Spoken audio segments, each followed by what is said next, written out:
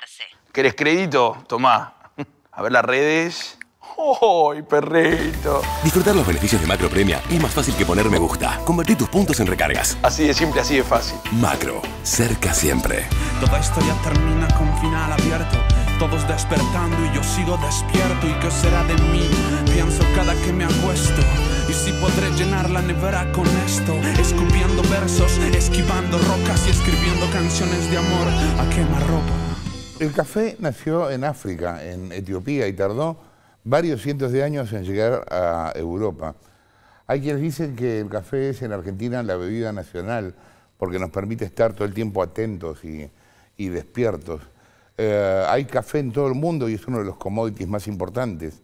Hay 70 países que producen café y también algunos que lo arruinan, como por ejemplo Estados Unidos con esos vasos inmensos de café aguado. Hay café ristreto, hay todo tipo de café. Sobre eso vamos a hablar esta noche con Nicolás Artusi, que acaba de publicar con Planeta Manual del Café, que tiene un par de programas en Metro y que es sommelier de café.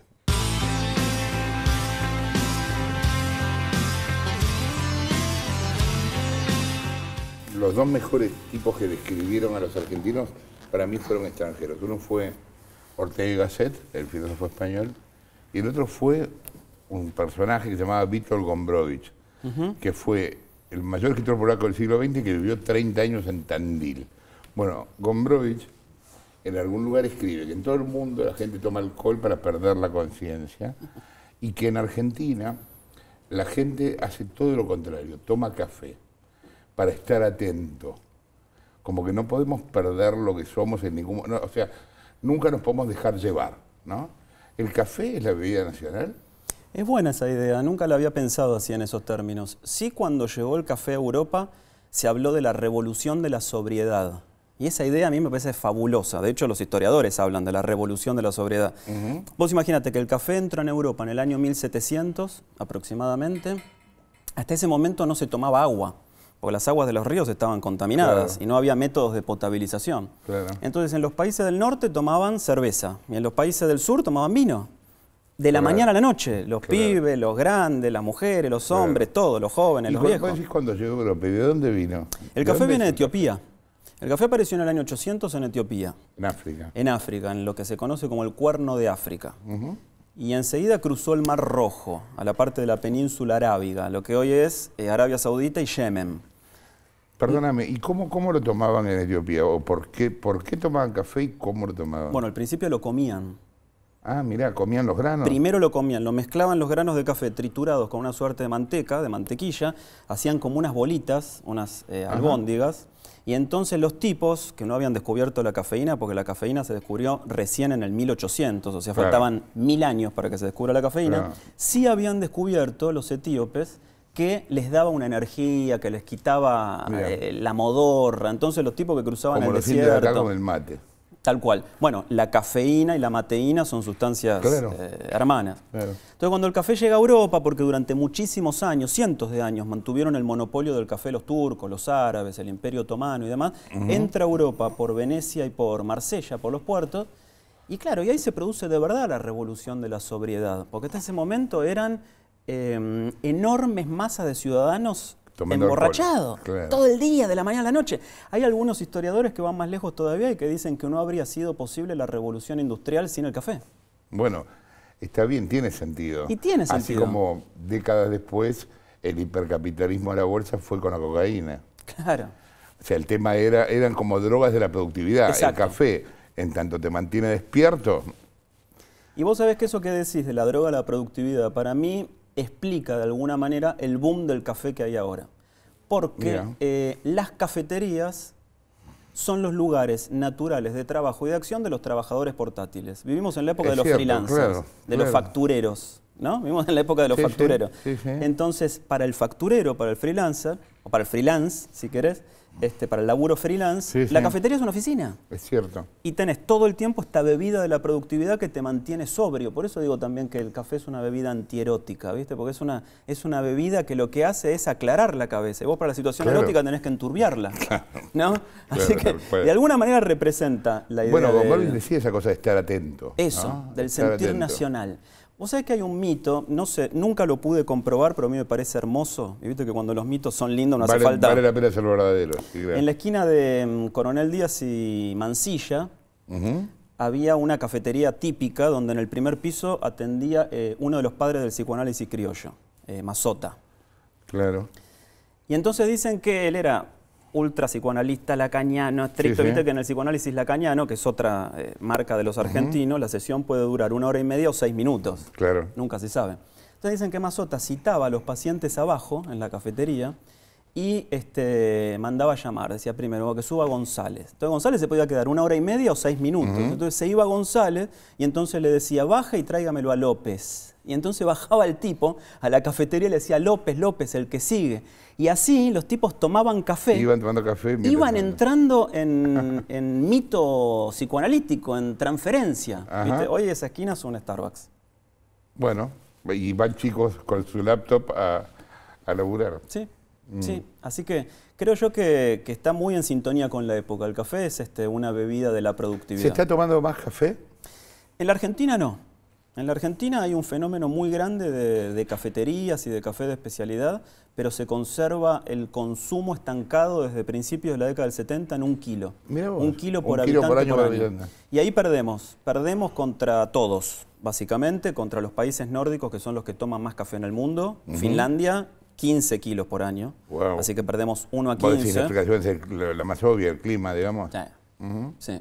Pensá que aparte el, el- el- el café te da esa sensación de confort, ¿no? de, Sí, sí. de- de sosiego para el alma. Perdemos con, no sé, países más cercanos como Brasil, que toman 5 kilos de, de café por año, pero perdemos Ah, también pero los cafeteros mucho, ¿no? mucho. Pero perdemos también los cafeteros con los este, materos, porque se toman 6 kilos de yerba mate por año por habitante. Así que Mirá la vos. yerba, o por lo menos el mate en la guerra de las infusiones nos gana 6 a 1 Mirá vos. a los cafeteros. Viste que ¿Los ya cómo en primera persona. Bueno, los yanquis es curioso porque los yanquis son los principales compradores de café del mundo. No tienen café igual que los argentinos. Los Claro. yanquis, todo el café es importado y están entre 5 y 6 kilos también. Ajá. Es una, es una Y tasa hacen todo lo posible por arruinarlo, ¿no? Porque Sí, porque le agregan agua caliente. café americano. Ese es el bueno, el, exactamente, el café americano es café con agua caliente agregada. Pero si vos te pones a pensar, tiene algo lógico también. Viste que yo me dedico mucho a pensar el, Sí, el sí. mundo del café. Y lo lógico que tiene es que la cafeína, que es un alcaloide, como todas las sustancias que terminan en ina, es un estimulante, en este caso un estimulante natural, de hecho es la droga más consumida en el mundo. La cafeína, la gaseosa cola tiene, Tiene eh, cafeína. claro. Bueno, hay remedios, sí, claro. los reme- la, la aspirina con Claro, cafeína, aspirina, recontra sí. popular, bueno, el mate, el chocolate tiene teobromina, bueno, un montón de, de parientes, ¿no? Pero la cafeína es una sustancia que se activa con el agua. Entonces, en un café como este, tan cortito, un espresso, un ristreto de los que tomo yo, hay menos cafeína, a pesar de que el poder es más, el sabor es más poderoso y es más Que en reconcentrado grande. que en un café grande. Entonces, en Estados Unidos, que O sea, vos decís, te jode menos tomar un, un ristreto que tomar un café Sí, grande. sí, definitivamente. Y en Estados Unidos, que tienen antes que cualquier otra cosa un afán práctico, y que es el país de los autos, los camiones y las autopistas, nació la moda de agregarle más agua al café, de convertirlo en un vasote grande, Para y llevarlo. ese café, y es el que te despierta. Es el café que los camioneros, viste, en todas las Sí, sí. películas que hemos este, conocido de Hollywood, paran al costado del camino, toman un vasote de café o se lo llevan, se lo llevan tomándolo. Y eso vos sabés que el café te asegura cuatro horas de, Ah, de- de lucidez y de, y de nivel de ¿De alerta. dónde sale esa costumbre de andar por la vereda con un café de- de- del Starbucks, aquí, digamos? Yo creo que sale de la idea de la eh, portabilidad de los yanquis. Viste que ellos tienen todo Porque el no vi en otros países del No. mundo que la gente ande con un café por ahí caminando. Yo tampoco vi en ningún otro país del mundo que la gente almuerce de parada en el subte. Bueno, claro, también. sí, sí. No solo comen un sándwich o un, o Sí, un pancho, van comiendo una ensalada o un guiso. Porque Estados Unidos este, un poco reversionó la idea de la alimentación. La alimentación tiene que ser productiva. Claro. Apenas tiene que ser una cuestión de función de la combustible. productividad. no hay que perder tiempo. Todo el tiempo que uno podría estar invirtiendo en producir, no lo tiene que invertir en otra cosa. El, el consumo de café, el- el- eh, sí, el consumo de café se sofisticó a- Ah. en los últimos 15, 20 años. Sí. 10 ¿Por- años. te 10 diría. años. ¿Por qué? Hubo un fenómeno que se llamó la tercera ola del café. Eh, la primera ola del café apareció en la década del 20, del siglo XX, Sí. y es el, el boom de las cafeterías y de las marcas de café populares, ¿no? La cafetería de esquina, el bar del Gallego, en la ciudad de Buenos Aires, o los bares notables, el bar este, mm, eh, que ofrece ahí un, un- un ambiente para, para la tertulia, pero que además te ofrece un cortado, truco de los argentinos para enmascarar el pésimo café que tomamos toda la vida, que es agregarle leche y azúcar Sí. para disimular. Está Las bien. marcas de supermercado y demás, pero en la década del 70 en Estados Unidos apareció un fenómeno que fue bautizado como la segunda ola del café, donde, y esto me parece fascinante, junto con todos los movimientos contraculturales, con los eh, hippies, con los movimientos de, de liberación de las minorías y demás, apareció una eh, pequeña pero irreductible aldea, como decía Asterix, de mm, fanáticos del café en la costa oeste, en Estados Unidos, que dijeron, no, el, el café del supermercado y el café de, de- de los bares acá es una ¿Pero qué, porquería. dónde? ¿En San Francisco? En Los San? Francisco. Exactamente en San Francisco. Mirá. Misma ciudad que 30 años después eh, eh, fue sede del boom de las empresas tecnológicas, ¿no? Claro, O sea, claro. donde, donde surgieron grandes Sí, este, inventos. Las techis, claro. Claro. Y entonces los tipos empezaron a importar pequeños lotes de café y hubo una, una pionera, incluso una mujer, fue una mujer noruega que en una entrevista a, a una eh, revista definió el fenómeno como café de especialidad. Y en el año 82, 10 años después de eso, se fundó la eh, Asociación de Cafés de Especialidad de los Estados Unidos, que hoy es como el árbitro mundial, y que es un grupo de, de catadores que lo que hacen es evaluar cafés de todo el mundo y ponerles puntaje. Los cafés que superan los 85 puntos de 1 a 100 son cafés especiales, es una categoría distinta Ajá. que son cafés que tienen atributos de gusto, de Sí, sí. aroma especiales. Y a partir de ahí surgió la tercera ola del café, que es la que estamos viviendo, que es cuando se, se democratizó eso. Porque lo que en principio fue algo hermético, como el, el círculo de los enterados del vino, que quedaron Claro. un poco herméticos los Sí, tipos sí. del vino, ¿no? con todo ese ritual de la degustación y todo ese sketch que hacen. Bueno, la tercera ola del café democratizó eso. Bueno, lo del vino llegó a la prensa, lo del café no, ¿no? No tanto. Yo no leo por ahí Eh, críticas de café. Eh, claro, y, y sería bueno que, que las hubiera, ¿no? En el mundo se dice que el café es el nuevo vino, porque se cree que ha seguido una, una, una elipsis similar, o también similar a la que está recorriendo la cerveza en este tiempo también, ¿no? Bueno, con la cerveza artes- artesanal y toda esa Sí. historia. Yo creo que hay como una especie de, de demanda, de inquietud de los consumidores por eh, mejorar la experiencia Claro. continua, sobre todo porque también me gusta decir que el café es una bebida democrática. ¿Por qué? Porque a diferencia del vino o del whisky, donde vos tenés vinos para pobres y vinos para ricos, o whiskies para pobres y vinos para Vos ricos, decís café es para todos. es un commodity universal que cuesta lo mismo en todos lados. Esta taza de café en un bar hoy cuesta 75 pesos. Y no hay de 75, de 150 No, no, y de claro. 500. Bueno, sí hay cafés más caros, pero Aquí no, no, se están en los sirven, bares, digamos. digamos. Claro, no están en los bares. Entonces, Sí. la, la diferencia pasa en que te lo sepan preparar, en la materia prima, en que uno también lo sepa apreciar. Que no lo quemen. Que, que no lo quemen, sí, que sí, no lo- le pongan agua de más, agua de menos, que no le pongan agua hervida, bueno, una serie de exigencias técnicas que tiene el café. Me, me contaba que eh, gente de Nespresso en Europa, que en un momento ellos quisieron, por ejemplo, ellos detectaron que en la sociedad todo el mundo quería tomar café italiano, como que el café del bar, pero en tu casa. Y que a partir de ahí inventan lo de las cápsulas. Y eso fue como también una marca de sofisticación del café. Sí, muy grande. Yo me acuerdo de haber visto, la primera vez que yo lo vi, por lo menos en Nespresso en los hoteles, Sí, que te lo regalaban. Sí, Y después te lo empezaron a cobrar. sí. Y mm, vos fíjate que aquí nosotros en la Argentina, por la herencia italiana que tenemos, eh, en todos los bares tenemos café expreso. Sí.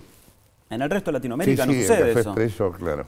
En el resto de Latinoamérica no sucede, pero sin embargo hubo un punto de quiebre muy interesante desde el punto de vista del mercado. Hace dos años acá, por primera vez en la historia en Argentina se vendieron para el consumo doméstico más cafeteras expreso que la cafetera de filtro.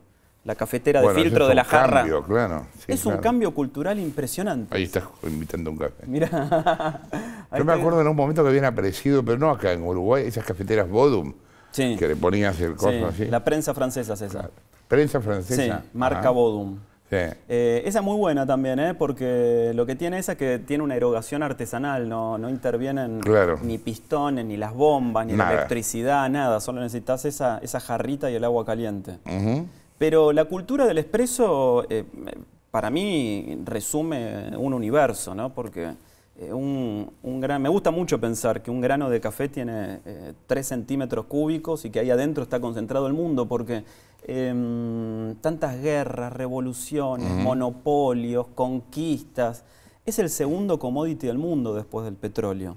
Y hay 70 países que producen café, muchos de ellos viven del café y, y aparte, el café... África, sí, perdóname, África sigue produciendo Sí, café. sí, claro. Bueno, Ili no es de, no es africano. Eh, Ili es, eh, Ili es italiano. es italiano, pero compra, no, claro. Compran en, compran compra en café África, de África. no me acuerdo dónde. Pero hablando de África, fíjate que em, eh, el, el gobierno de Idi Amin en- Sí. en Uganda, Aquel que se comió un corresponsal cada mañana. eso, Sí. está muy bueno en una, en una película, El último rey de Escocia se llama la película, Ah, que cuentan eso, sí, es sí, sí, sensacional. Con el negro este que tiene Eh, ojos. Whitaker. Forrest Whitaker. El régimen de Idi Amin cae cuando Estados Unidos le deja de comprar café. Mirá, no por una iniciativa del- de un... De este, hacer un boicot comercial. Claro, de un congresista afín a Jimmy Carter. Ajá. El café era el 40% de la economía de, De la Uganda, economía de Y Uganda, se lo vendía a todo Estados Unidos. También en Centroamérica hay buen café. Sí, sí. eh, bueno, ¿En eh, qué sitios? Costa Rica, Ah, en Costa Honduras, Rica, claro, en Nicaragua, Costa Rica. Puerto Rico. El café, como te decía al principio, nació en Etiopía, en África. eh, de ahí pasó como segunda zona al sudeste asiático. Lo llevaron los holandeses, que eran dueños de... Dos climas cálidos y húmedos. Y por eso después va a Centroamérica. Claro, y después llega a Centroamérica, eh, lo trae el rey Luis XIV, que tenía eh, colonias en la isla Martinica, y entonces manda a traer el café acá, que en menos de un año, es una planta muy ubicua la del café y muy fácil de reproducir, en menos de un año ya había copado todo el Caribe. Ajá. Impresionante. Los ingleses la trajeron a Jamaica, los franceses Claro. a Martinica, los portugueses a Brasil, los españoles a Colombia y a Venezuela. Y así se fue llenando el, el ¿Dónde es, continente. que, ¿Dónde es que se, eh, que se toma este café? ¿De dónde nace, en verdad? De la cabra que caga y...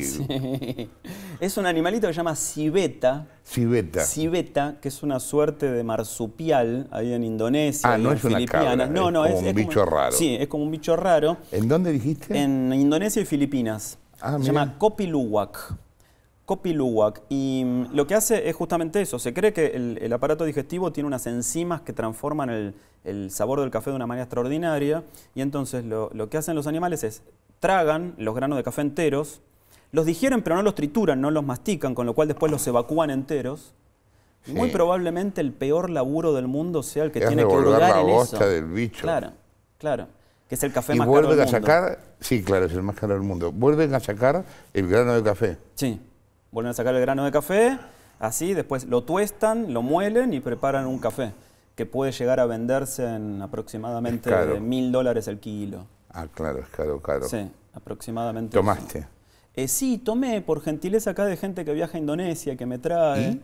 Eh, es un café curiosamente muy pálido, muy, muy... En el mundo del café que algo sea ácido es un atributo positivo. Porque no se entiende ácido como cuando mordes una naranja o una ciruela, no, no habla del pH, habla como una especie de, de brillantez o de nitidez en el gusto. Y es un café extremadamente ácido, ácido en el sentido de que es muy prístino en su gusto a café, pero que se ¿Pero que toma... es más clarito? Sí, se toma de hecho en la prensa, se prepara en la prensa francesa, no en una máquina express que lo arruinaría. Y mm, queda casi como si fuera un té de café o Ah, un mirá. agua saborizada de café. Muy, muy liviano. Ah, qué curioso. Yo pensaba que era un café con más cuerpo, ¿no? Muy liviano.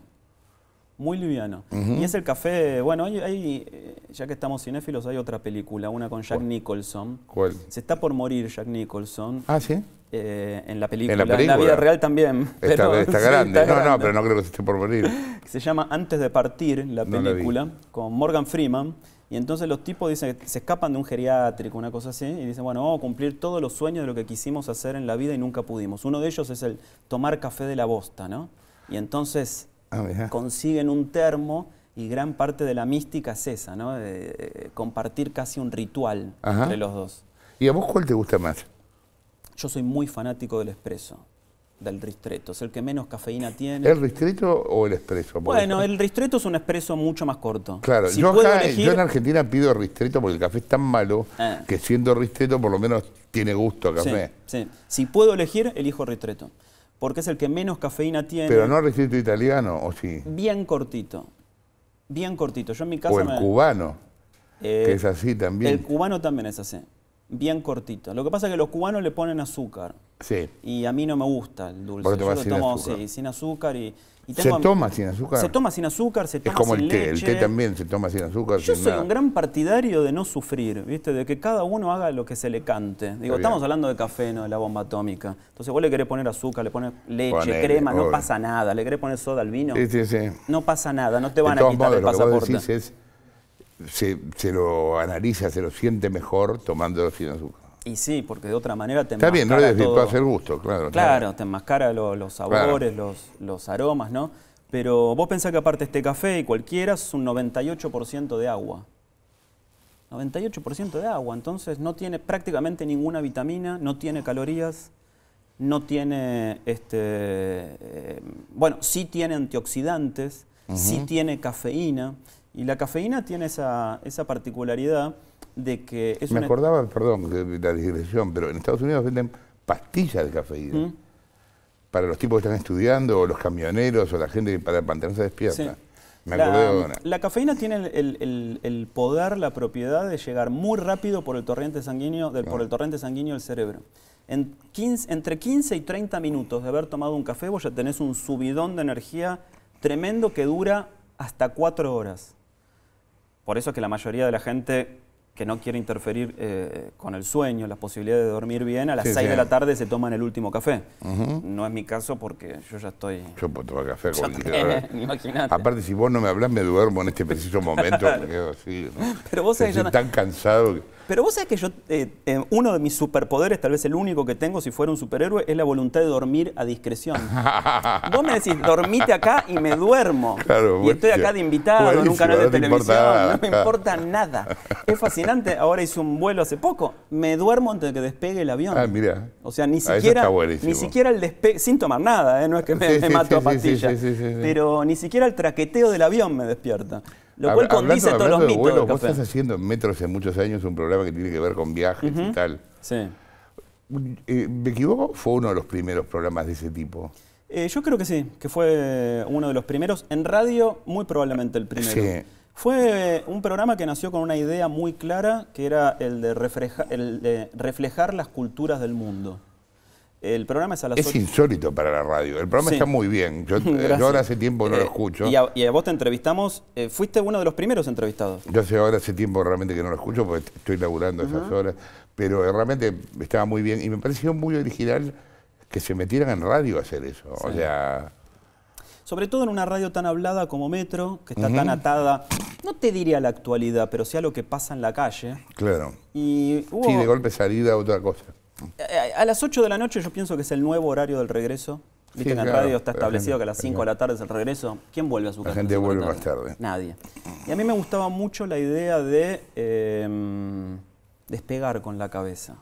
¿no? Estamos, yo creo que la- estamos contaminados de actualidad. La Sí, actualidad claro. siempre se repite con distintos personajes o con distintas cifras, pero es invariablemente igual. Y en cambio la idea de contar historias sobre las culturas del mundo a mí me parecía muy buenísima, atractiva para la radio. buena. Y hace otro que se llama Branch, Sí, que va a la hora del brunch. sí, los domingos a la mañana también Está en Metro, bien. donde Eso tomamos mucho también café. empezó como a difundirse la cultura del brunch en Argentina, ¿no? Fueron un- fenómenos eh, simultáneos, eh, el del brunch, el del café, el de los viajes también. A mí hay algo que me impresiona mucho, vos lo habrás observado, que hay personas ya que se definen como viajeros. ¿no?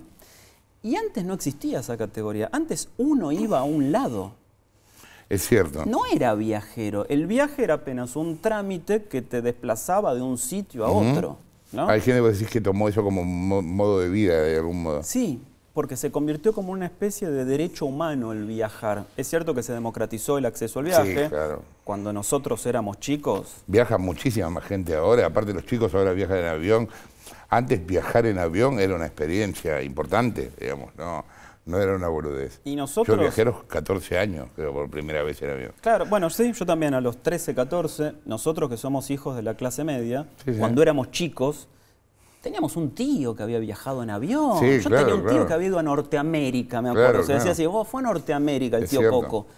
Y era una rareza. No, bueno, pero el mundo está mucho más cerca de- a partir de, de todo, de la tecnología. Yo el otro día no me acuerdo con quién hablaba de.